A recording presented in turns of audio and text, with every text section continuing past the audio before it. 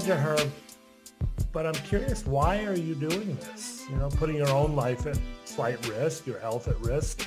And she looked at me and I'll never forget what she said. When she said to me, why am I doing this? The question is, how could I not do this? And to me, when you ask me the question of remembering a moment when you woke up to life, literally that conversation with Aunt Paula awoke me, awakened me to a true understanding of what it means to be alive and to love and to give.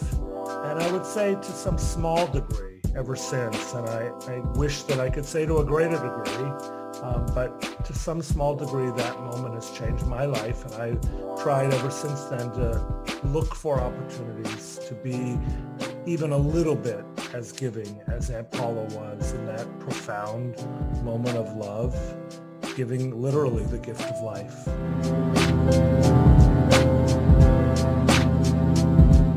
Welcome to another episode of Waking Up to Life with Rabbi Josh, a podcast built around conversations with people in the community who have found a bit of enlightenment in their lives through experiences. While these events may not seem life-changing to you, the conversation may just reveal how those moments shape the way my guest sees the world. It's an informal conversation with friends and family and insights from Jewish tradition, and it may just change your life as well. And if not, it's just 18 minutes with me. So l'chaim, to life. Today on the podcast, we welcome a very special guest. It's a special guest because Rabbi Jim Bennett, who is one of the spiritual leaders of Congregation Shaare Emeth in St. Louis, Missouri, happens to be also my brother and therefore the only and oldest living person in the world right now who has known me for my entire lifetime. So Jim, welcome to the show. It's great to be here, Josh it's a little bit dangerous for me to have you on the show because you know so much about me and you may reveal more than what we've talked about in order to uh, share a little bit more with my guests. But I'm hoping you'll you'll protect me from that disaster. You're safe because turnabout is fair play, and I know it. For sure. Well, I'm so glad you're with me. Uh, you and I have prepared for this moment, and and I know that we have uh, a shared experience in the death of our mother prematurely to uh, kidney disease. But uh, what's special about that was a connection we had to Aunt Paula. And I know you had an experience with her that will be the basis of our conversation. So share with uh, my guests or with my audience what uh, that story is. Thanks, Josh. It's, you know, it's one of the most amazing and transformative moments of my life, which at the time seemed relatively trivial but it was back in the late 1980s, around 1986, 87. I, I actually don't remember the exact date, but it doesn't matter. As you and I and everybody in our family remembers, mom was very, very sick and uh, had come to the point in her progressive kidney disease that she really needed a kidney in order to survive uh, and was a, a candidate, uh, surprisingly, given her relative advanced age uh, for kidney transplant. But very quickly, when that question of becoming a kidney transplant recipient came up, we remember that our beloved Aunt Paula, mom's mother, youngest sister, stepped up and volunteered to donate one of her kidneys to mom. And uh, I, I know we were all overcome with incredible gratitude and and just love and relief all wrapped up in the same. But the moment I wanted to share quickly was the moment the night before mom's surgery when mom had been admitted to the University of Chicago Hospital and Aunt Paula had been admitted.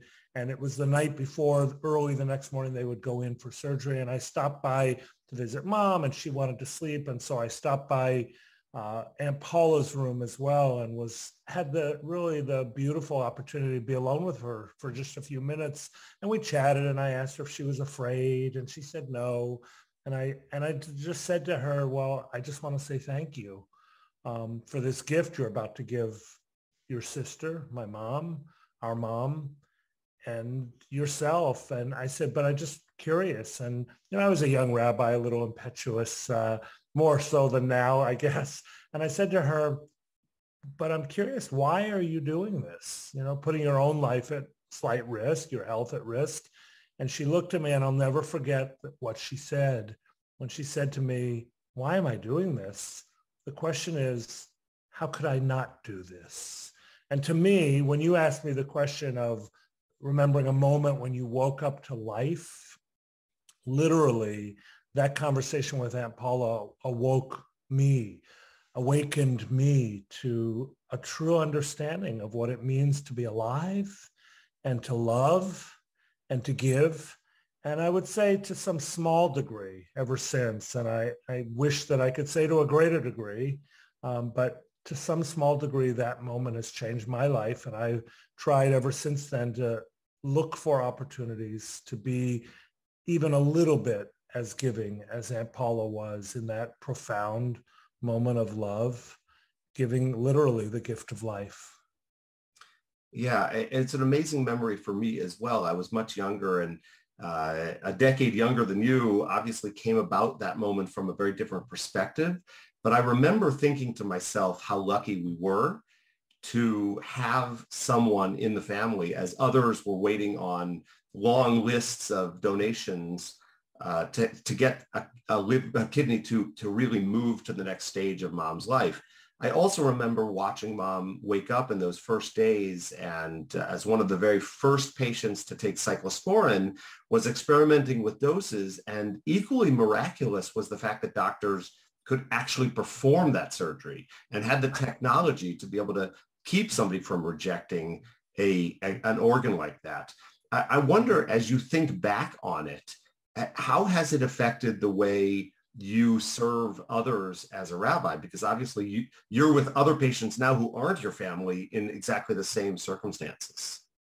Yeah, well, there's the literal answer to that question, which is when I have the opportunity, like you, I'm sure, to more often than than not to be with families who need organ transplants or who are making the difficult decision about whether to give an organ to another family member or even to allow their deceased relatives' organs to be used to save other lives. There's the literal learning that I take away from that, which is the critical importance of the gift of life, of, of organ transplantation, of, of everybody who's able to sign to be an organ donor, you know, and all that literal stuff. But for me, the reason I brought this Waking Up to Life segment to you today was more the way it's impacted me in non-literal ways because there's the obvious connection to organ transplantation and trusting science and the miracle of science.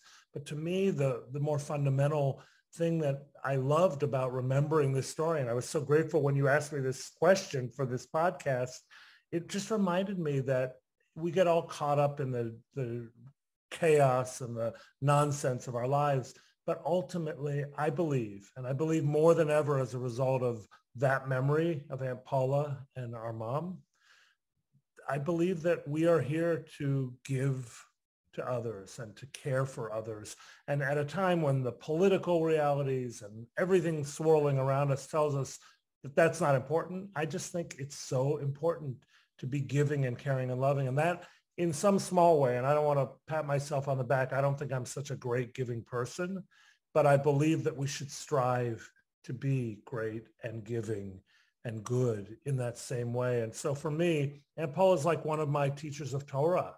She, her, the Torah of Aunt Paula, not even hesitating about giving the most precious thing she had to give to save her sister's life. To me, that's metaphoric for what we should all do in much smaller ways, just the simplest things that, that are so easy to do. Like we don't have to go to the hospital and have somebody cut out our kidney right? We could just be giving and caring. Yeah, uh, you know, I think that's obviously a global truth, but it has actually, in a strange way, impacted our own nuclear families as well. We've both raised our own children to have beautiful relationships inside our nuclear families, and thankfully our children love each other and have relationships within our individual families.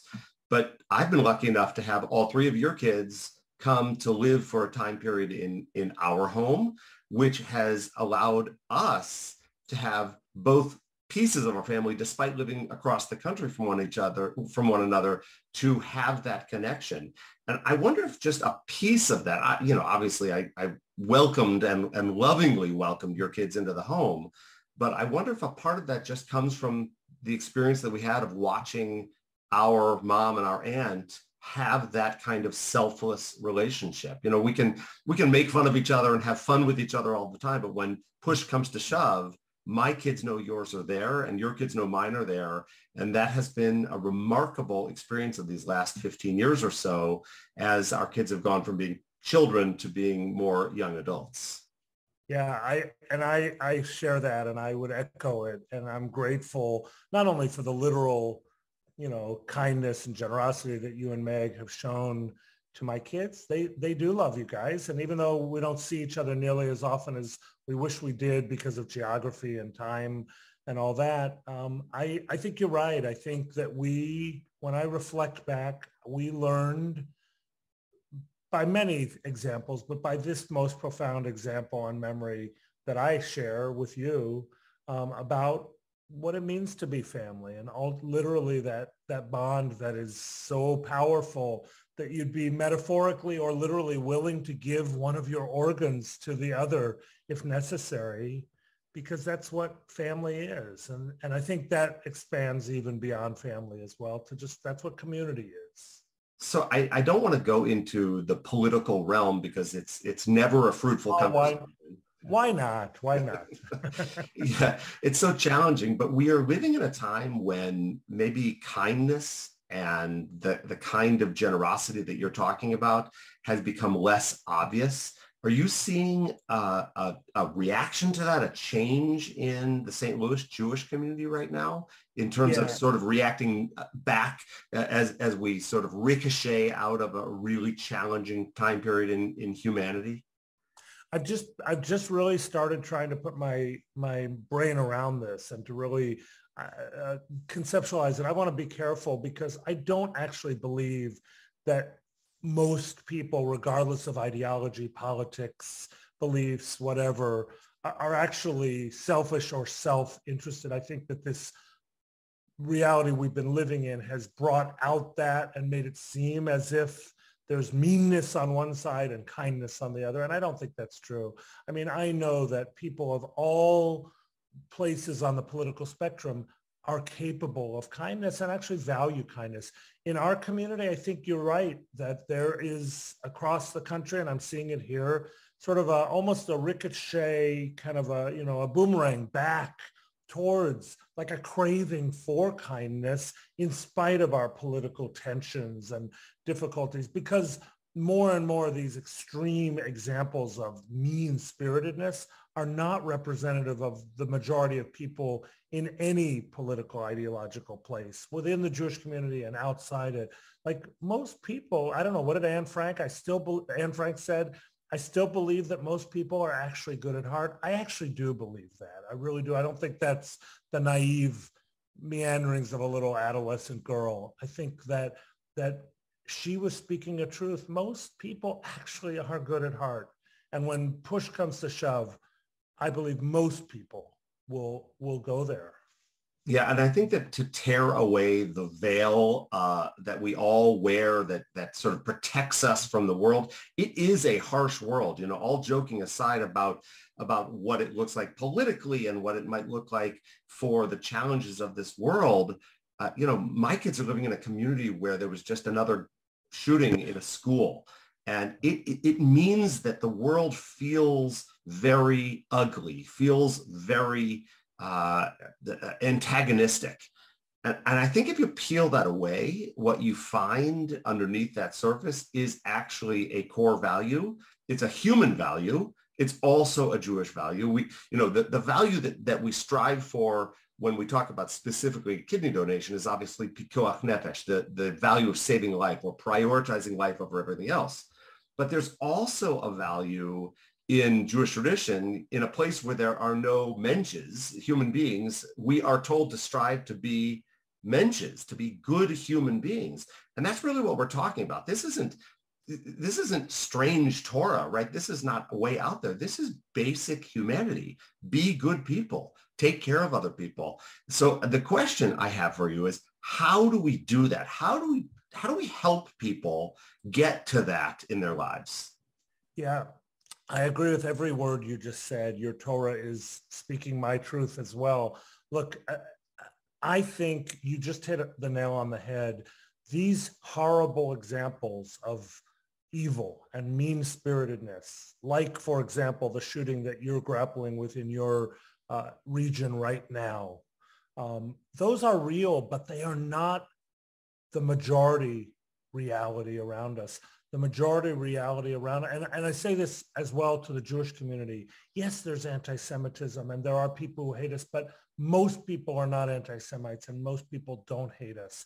And so to answer your question, I think, yeah, in a place where there are no human beings, no mensches, strive there especially to be human. And also another quote that comes to my mind is Olam Chesed Yibaneh, that the world needs to be founded on and built on chesed, that, that core Jewish value of loving kindness.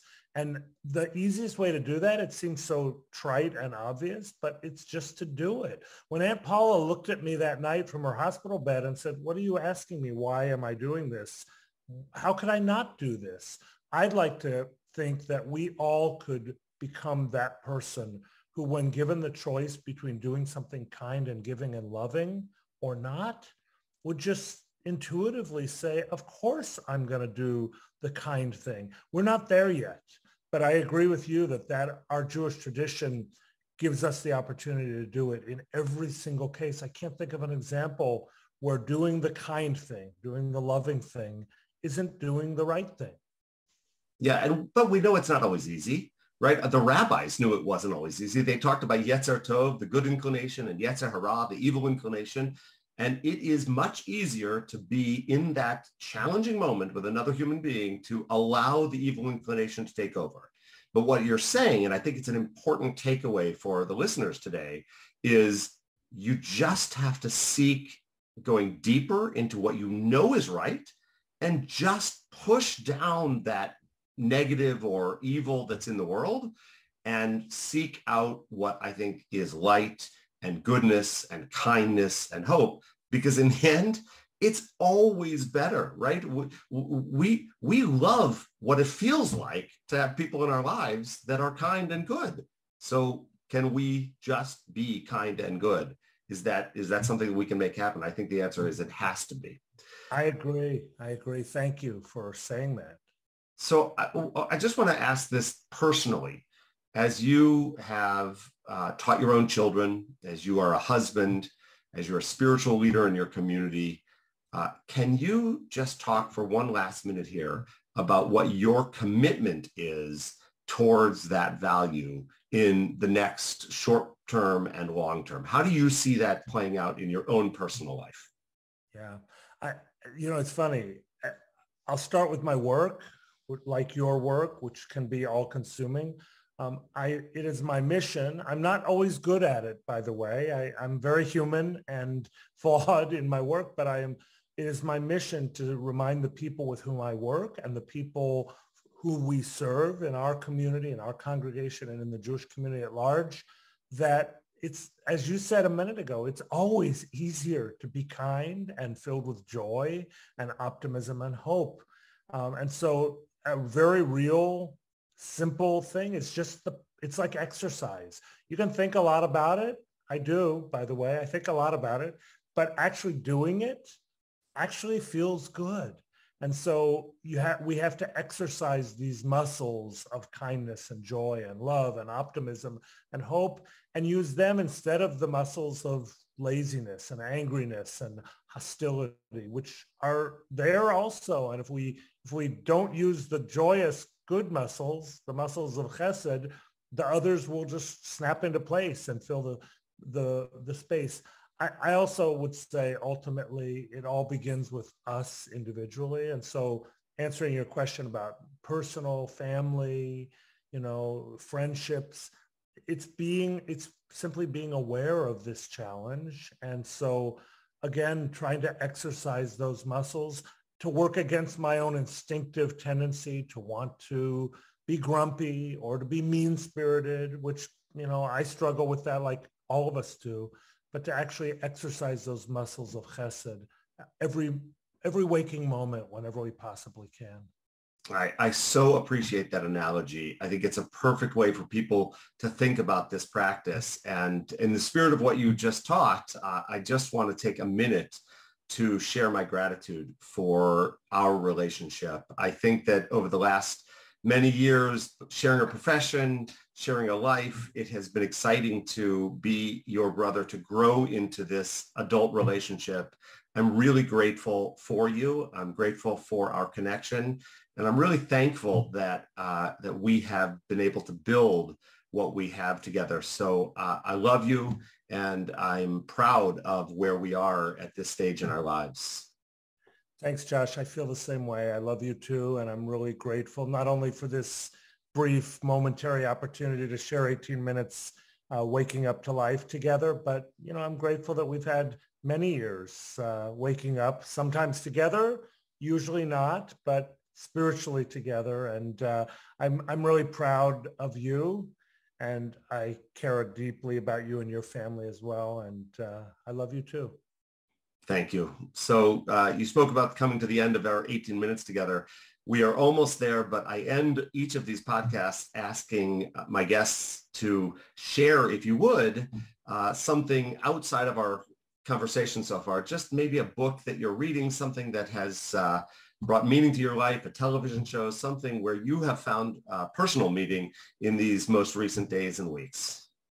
Well, I'll, I'll mention to you something you and I have discussed frequently over the last few years.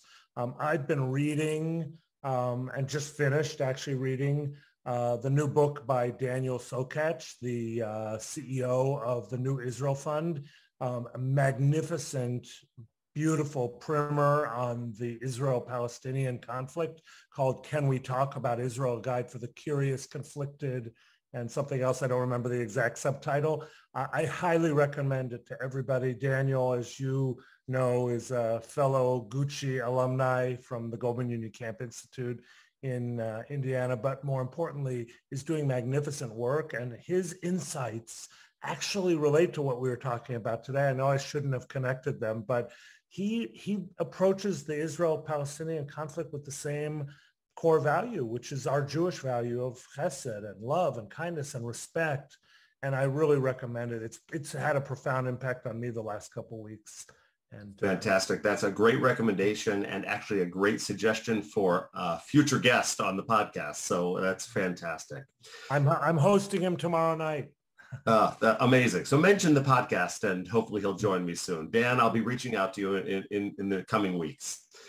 Jim, Rabbi Jim Bennett from Shaare Emeth in St. Louis, Missouri. Thank you for being my brother. Thank you for being a guest on the podcast.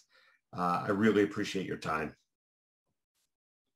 So for all of you who are watching and listening, we've come to the end of another episode of Waking Up to Life with Rabbi Josh. Until next time, I hope that you will find meaning in the relationships you have, that you will, as we learned today, bring kindness into the world. Until then, I hope you will continue waking up to life.